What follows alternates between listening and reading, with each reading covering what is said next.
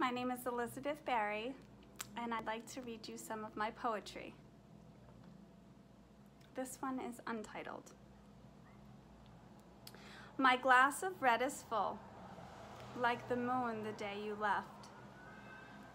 But alas, it is I that is empty, because I never heard your last breath. It's almost been five months now, and each day I kneel and bow. Thank you, gratitude, love, angelic prayers to heaven above. For me, for you, for then, for us, for always in the now. So many of us never get to see the soul of a human being. And yet you saw the light in my heart and insisted, let's keep on dreaming.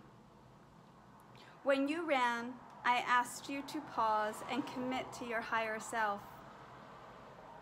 And now you return in spirit to see that I've gained the strength you knew I had as your spirit reappears upon my shelf. Your signs, I take them in to recall that I completed you. Why, yes, of course, my angel dear, it was my heart that mended yours with glue. But only because you stayed true to you. As we smile from heaven to earth with the knowing that it's only us that needs to feel the comfort of our truth. My love, thank you for the connection, for the many breaths of true love.